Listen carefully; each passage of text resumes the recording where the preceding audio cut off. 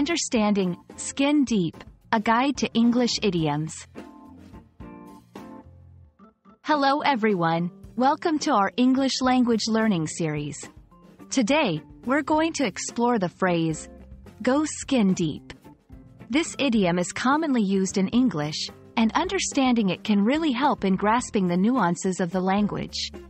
So, let's dive in and uncover the layers of meaning behind this interesting expression.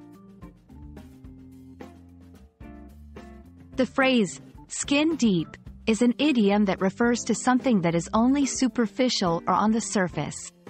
It implies that the subject is not profound or does not have deep, underlying significance. The term is often used in the context of appearance or initial impressions.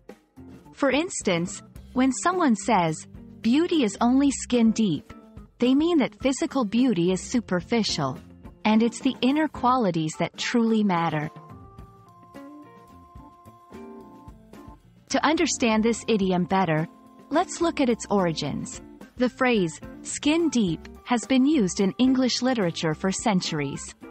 It's believed to have originated from the idea that the skin is the body's outermost layer, and anything that doesn't go beyond it is not very deep or substantial. This phrase captures the essence of superficiality, emphasizing that some things have no depth beyond their surface. Now, let's see how to use skin deep in sentences. His charm is only skin deep. Once you get to know him, he's not that pleasant. This movie's message is hardly skin deep. It doesn't provoke much thought. Don't judge a book by its cover. Its value is more than skin deep.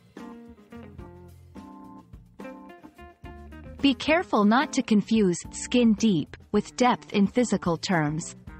It's a metaphorical expression. For example, it's incorrect to say, the pool is skin deep.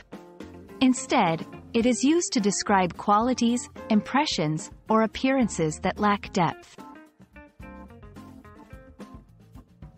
I hope this video has given you a clear understanding of the phrase, go skin deep, and how to use it effectively in English.